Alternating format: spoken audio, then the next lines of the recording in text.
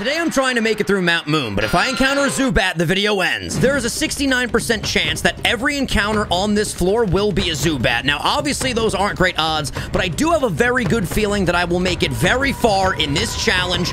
First encounter, it won't be a Zubat. No!